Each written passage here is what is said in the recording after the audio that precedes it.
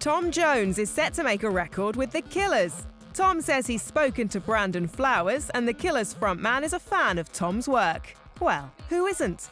There's a connection there, Tom explained, because he's from Las Vegas, and of course, I've performed there so many times over the years. Tom's no stranger to collaborating with the younger generation, having teamed up with Nina Persson of the Cardigans, Cerys Matthews, and the Stereophonics in recent years. Although Tom and the Killers haven't set a date for recording yet, Tom says it's definitely happening. They're just looking for the right song. The material has to be right, he said. That's always been my main concern with whichever people I've worked with.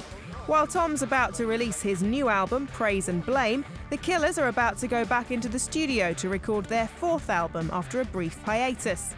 Brandon Flowers is also set to release a solo album in September.